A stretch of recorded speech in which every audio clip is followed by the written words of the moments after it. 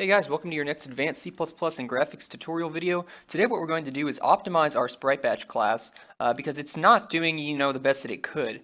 Uh, one of the issues with our sprite batch class is it's constantly calling new and delete. Uh, whenever we call spritebatch.draw, every time we make a new glyph, we call new glyph. And the problem with the new call is it's actually kind of slow. Uh, it has to allocate new memory on the heap. Uh, it's also going to kind of fragment your memory a little bit. Uh, and we have to later, of course, delete that memory too, which is also not very fast. It's usually much better to allocate memory uh, in batches instead of uh, allocating a bunch of small things one at a time with new and delete. That makes it really, really slow.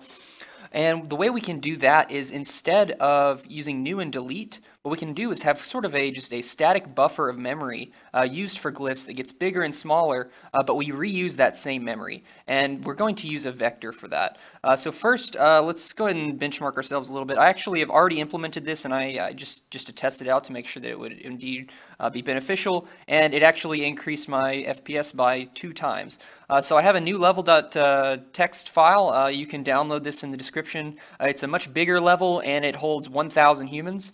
Uh, so let's go ahead and run it and see how it performs uh, in release mode. Uh, with OBS running, we'll probably get capped. Yeah, we're going to get like 15 FPS. All right, so we're getting 15 frames per second uh, with OBS running. I believe it was about 90 without OBS whenever I was running it. Uh, but uh, as you can see, there's a lot more people running around. There is a lot of CPU limitation here, but we are also bound by the GPU a little bit, meaning we could optimize our graphics a bit. And the zombie horde is going crazy. Uh, we don't even have the firepower to stop this, unfortunately. We'll have to make some new guns later for sure. Uh, all right, so uh, we're at 15 frames per second. Let's see what we can do about it. So when we go to spritebatch.h, right now we have this std vector of glyph star glyphs. Now the reason we are using glyph pointers, and the reason we didn't just use uh, just a static glyph objects like this, uh, is because whenever we go to sort it, we have to sort the memory that is in this vector. And a glyph pointer is going to be 4 bytes or 8 bytes, depending on if you're a 32-bit or a 64-bit machine. However, if we wanted to sort glyphs instead of glyph pointers, then we would have to sort a lot more bytes. If we go to the glyph, we'll see it has four vertexes, it has a GLUINT, it has a float, uh, where we're getting many, many bytes here, and each vertex has a lot of bytes in it too. Uh, so having to sort that means we're going to be copying around a lot of memory, and it's just it's really expensive. However, if we do use an, a vector of glyphs like this, then instead of calling new and delete, we can just call vector pushback.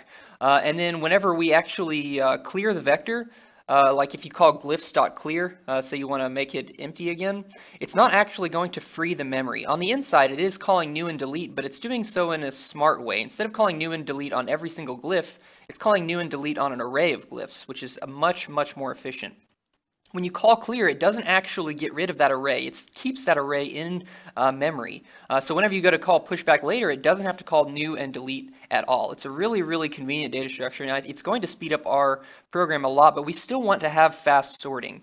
So the solution is to have two vectors. We have a vector of glyphs, which are going to be just glyphs like this, and then we're going to have a vector of glyph pointers, and the glyph pointers are what we're going to sort.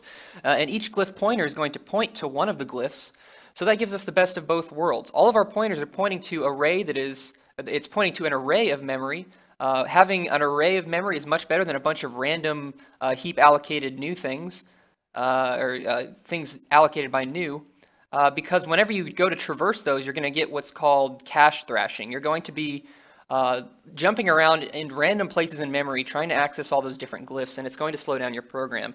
However, with a vector of glyphs, all of them are right next to each other in memory, so when we go to sort uh, the pointers and all that, every time we access glyph memory, it's always going to be really close together, and this is what's going to give us uh, better cache performance. And I haven't really talked about the cache a lot, but just know that having a contiguous data structure, meaning an array or vector, not a list, not something that's connected by pointers, that's usually going to increase your performance just because of the cache. All right, so let's have our second array, std vector, uh, and we'll say glyph star, and this is going to be glyph, uh, glyph, such a weird word, glyph pointers, if I can spell it right. So let's put a little comment here. This is for sorting. Uh, these are the actual glyphs. All right, so now we need to make some changes. If we go to Sprite Batch, we're going to get a whole bunch of errors here. So here, uh, let's go ahead and start with what happens when we uh, call sprite batch draw. So sprite batch draw is supposed to make a new glyph and add it to our glyphs array. Uh, but now our glyphs is no longer an array of pointers. So instead of having a glyph star new glyph allocated by new, we're going to have just a glyph new glyph like this. And then instead of glyph arrow texture, new glyph arrow depth, we're going to say uh, new glyph dot texture, new glyph dot depth. And then down here, when we call glyphs dot pushback, uh, it isn't going to give us an error because we are correctly pushing back uh, a non a, a, a, actual instance of a glyph rather than a pointer to an instance of a glyph. Now, there is one inefficiency here. What we're doing here is we're allocating a glyph on the stack. This is going to get that memory, and then we're going to set up all the stuff. We're going to copy all this data to it. And then right here, when we call pushback, we're going to copy all that data again. So it's extra copies. We're going to actually do an intermediate copy that is a waste of time. Now, it's not a really big deal, but we could easily optimize this so we don't have to do this intermediate copy by using a constructor in glyph with the uh, emplace back function for the vector. So let's go ahead and do that. And what the what the constructor for glyph is going to do is pretty much the exact same thing that we are doing here. We're just going to grab all of this and we're going to pretty much pass in these exact same parameters that are up here. Let's go to glyph. All right, and since it's uh, going to be a little bit more complicated, uh, let's go ahead and, we could keep this as a struct, but let's just call it a class. I've actually found that it's better to just make everything into a class. Now remember, a class with the public keyword uh, right here is the same as a struct. And the reason I like to always make everything into a class, because if later uh, you have, uh, say, a struct that you want to do a forward declaration for. If you forget that it's a struct and you forward declare it with class, you're going to get a really hard to find uh, bug. Uh, so we've made it a, a, public class. Now let's give it, uh, we'll give it two constructors. We'll get a default constructor that takes no arguments and it does nothing. There we go. So we're just going to implement it with nothing. And then we're going to have a constructor that does take arguments that does this, that sets up all of the uh, parameters. And this is what we're going to use with in back, so we don't have to do that intermediate copy. So we're going to have to get rid of all this. A little trick, so we're not manually deleting all that. We can just type in, uh, we can type Control F to do find and replace.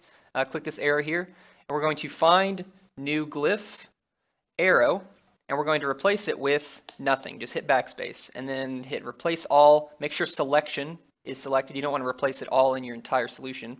Notice I've highlighted all of this, so this is where I want to change it and hit that and it'll uh, get rid of all of those for us. Okay, so now we need to pass in the, the same parameters that we are getting passed in in the draw function. So I'm going to copy all of these and dump them right here. Okay, and so we have a little bit of uh, naming conflicts here. Texture equals texture, that's not good. So we should do something like capitalize these. That's fine. We'll capitalize texture and we'll capitalize depth. Uh, and that's good. So now lowercase texture equals uppercase texture uh, lowercase depth equals uppercase depth. And to be slightly even more efficient, uh, we can use an initializer list. So we'll say texture, texture, and we'll say depth, depth. An initializer list is slightly faster than doing the assignment. It doesn't even really matter, but it's just a good practice. All right, so there's our initializer list. Hopefully you remember the syntax for that. And the rest of these cannot be uh, set up with an initializer list unless we want to give them constructors, but that, this is fine. This is perfectly fine. We've already saved a whole bunch of copies. So now all we got to do here in the draw function is we can actually get rid of all of this. There's just going to be one line of code. We're going to call dot emplace back. And we're going to copy all these parameters in there. So we're going to say dest rect, uv rect, texture, depth, color. Look at that. Look at how much simpler this function got. And this is going to be faster too. All right, so now we are emplacing back all of our glyphs. Uh, what do we need to do with sorting? Well, let's go to, uh, where is it? Uh, where do we sort? It's spritebatch.end. So here we call sort glyphs and then create render batches. So when we sort the glyphs, uh, it's actually going to be sorting using glyphs.begin, glyphs.end, but what we want to do is actually sort with, uh, here's spritebatch.h, we want to sort with glyph pointers. Because remember, sorting these 4 or 8 byte pointers is going to be a lot faster than sorting the actual glyphs. So glyph pointers.begin, glyph pointers.end. Same for these. There we go. Okay, so now our sort glyphs is good, but we need to actually set up glyph pointers. We never did that. So in spritebatch.end, that's what we're going to do. We're going to say glyph pointers uh, dot resize, and what resize is going to do is set the size of glyph pointers, and we're going to set it equal to glyphs dot size. So that will set the correct size. Now we need to point all of the glyph pointers to all of the glyphs. So we're going to say for int i equals 0, i is less than glyphs dot size i plus plus. All right, set up all pointers for fast sorting. There we go, and all we got to do is say glyph pointers i equals the address of glyphs i. So we're just pointing all these pointers to those glyphs so that we can sort them. And then sort glyphs is going to sort those pointers. Really, really simple. So now we don't need to call delete on the glyphs anymore. So we can get rid of that. And there's one last thing we need to do. Down here, uh, we have, uh, we're looping through glyphs. This should actually be glyph pointers. So what I'm going to do is highlight all of this. It, what is it? Glyph pointers. Yep. Control F, and we're going to re rename that to glyph, or sorry, first you got to type glyphs, and we're going to replace glyphs with glyph pointers. Now make sure you are uh, have the selection uh, mode selected. Don't don't do entire solution or anything like that. And make sure you've only selected what you want to replace. So replace all. There we go. That fixed that. And I believe I missed one here. Yep. Glyphs, pointers, and glyph pointers. All right. I think we're done. Uh, let's go ahead and run it and see what happens. So we were getting 15 frames per second. We might still get that because of OBS, but I think we should get at least 30. We're about to find out. I'm hopeful. All right, we are getting 15 FPS still, unfortunately, but I do assure you that it is much more efficient. Uh, did we actually clear glyphs? We did clear glyphs. Okay, good. All right, so that is that optimization. Now, I unfortunately wasn't able to show you the benefit of it on camera, but I assure you that it is definitely faster, it's definitely more efficient, it's more cache coherent, and it's, it's just all around better. Uh, so be sure to implement that in your game. Uh, let me know if it gives you a little uh, speed boost. It probably won't give you a huge speed boost because we are mainly CPU limited right now, I believe, uh, but it should give you something. All right, see you next time, guys.